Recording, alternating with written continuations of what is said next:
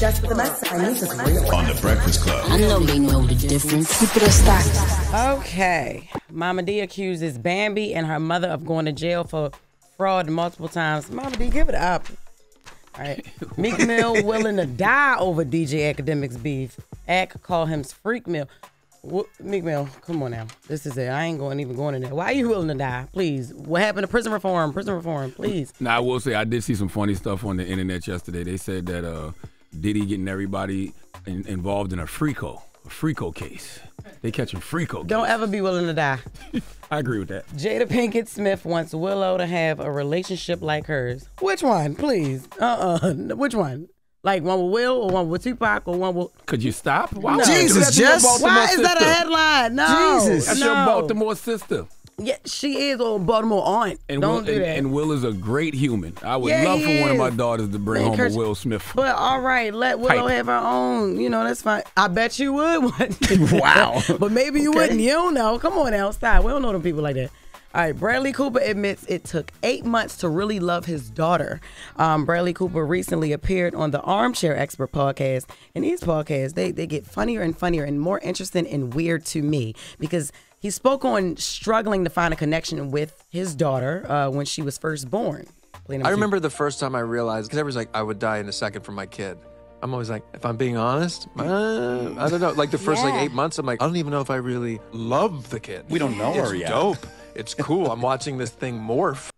Oh, shut up, Bradley. Not you talking to like what is That she a sounds car? crazy. Yeah, it's like she talk like like it's a car or something. Yeah, I didn't know it was that. I, if he was to say, you know, he didn't have a connection yet, Right. I would understand that as a father. Right. But to say you didn't love the child at eight months is insane. Absolutely. Because fathers do not have. Shut up, Envy. You got we, you got six kids. I got four. You do not. You fathers do not have the connection mothers have in the first eight months. It's impossible. No, you Y'all- don't have the same connection, but you still have the a baby connection. For nine months, the baby sucking off the breast still. Mm-hmm. You know what I mean? The baby always want to be in your arms. It does take a while for a father and child to develop that connection the way Mm. the mother and child. No, you'll Not never have a every dad, connection that the. Mother will have, though. You'll never have that connection, but you have a connection, absolutely, positively. Absolutely. As Yeah, soon you as have a the, when you have a connection to the baby, I, I'm I'm assuming as a father, uh, while child. it's still in your woman's belly, like at this point, at some point. I don't think like the mother though.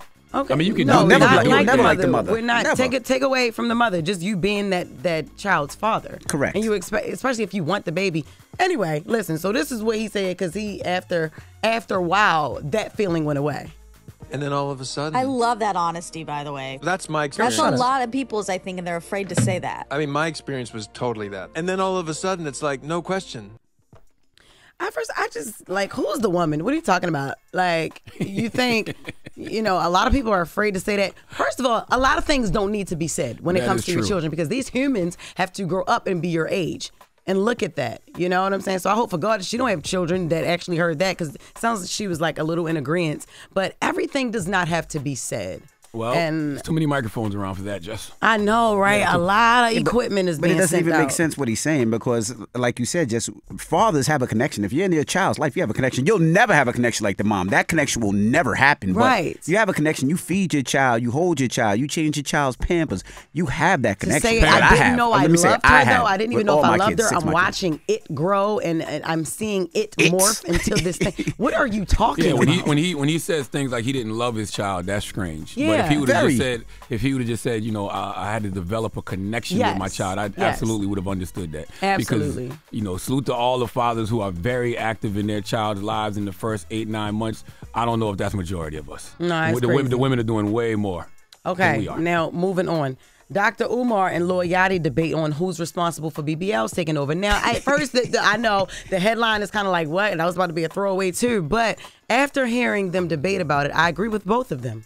You think women got the BBLs more to impress their girlfriends I'd say more. than to be viewed as attractive as a man? I didn't say more, but I do think there's Which women. one leads? But I think it's just for self-esteem. I think sometimes women look in the mirror. Did and you hear what he just said? But not It's for what? But for them- self-esteem, Yachty. Right to for themselves though. It don't have to be for another Okay, man. but why is the self-esteem low without the BBL? It could be based on your friends. No, it's based on the values of the culture and the society in which they live. And we got to admit something, black men. We have sexually objectified the black woman into a sexual instrument. And you know why this hurts me? Who's the number one sex trafficking victim in America right now, Yachty? Teenage black girls. I know that. 12 to 17. They both right. They are definitely both Mm-hmm. right because I can even attest to that. I have a friend who, after I got like my fat transfer, which you know, which is the same thing as a BBL, I just was wasn't calling it that until everybody was like BBL, BBL. All right, I got a Mm-hmm. BBL, and I got my boobs done. Um, after I got that done. She, who has always had a problem with her body, she always thought that she resembled a boy because her breasts were flat, but never had no hips, no, no, you know, no butt, nothing. She wanted it even more. Then another one of our friends got it done, and she wanted it even more. That wasn't even to impress a man. That was to impress herself when she looked in the mirror. Mm. She always thought, like, even as a 16 year old, like, yo, I I don't like the way I look, so she would always wear baggy clothes. You know what I'm saying? And then there's the other side of it, where mm-hmm. do you, where a lot of women do want to appeal to a man. You know what I'm saying? And that's Both why they get it. So I agree with both sides. We need more body positivity. Like you- You, know, just, Absolutely. just, just, just, you need, to, you should love every shape. Yeah, and there are You know? things that exist like bodily dysmorphia where people keep on working on themselves and working on themselves, and they think as long as they do that, they'll be satisfied. But those people never end up satisfied. And, and, and we need to hear from more uh, men or just people who Yeah. who love the thin women who yeah, love yeah, the natural bodies, the, just, the, just the bigger women. You know what Yeah, I mean? Like which right. are natural bodies. That's right. You know. BBL should stand for Big Back Love. So for everybody out there who has big back up, oh, love, man. no, seriously, if you're a lover of, of big back people, You are listen, listen. I have another story, and we, we. I dare you. Don't say another thing you- oh, about a look, big back. he's Look, rapping. don't swear No, that go, finger. Jess. I Go, don't have Jess. time. Ignore him, Jess. Ignore him. Look, Terrence Howard ordered to pay over nine hundred thousand in back taxes. Over nine years, Terrence racked up a five hundred seventy-eight thousand debt with um, dollar debt with the IRS, and over that time, over over the course of time of him not paying it. It was interest and other penalties Yep. included. So now it's over nine hundred thousand, and the Justice Department uh, sued him in 2022. But he reportedly sent them a voice message refusing to pay it, yo, and it said 400 years of forced labor. He's talking about slavery here, Oh, boy. and never receiving any compensation for it. Now you have the gall to try to prosecute and charge taxes to descendants of a broken people that you are responsible for the cause. For the causing the breakage, and then he left another message because they ain't responded to that. They like, give us the money. He's so then he called back and said, in truth, the entire United States should, by default, become the property of the descendants of slaves. But since you do not have the ability or the courage to do it, let's try this in court. We're gonna bring you down. Who?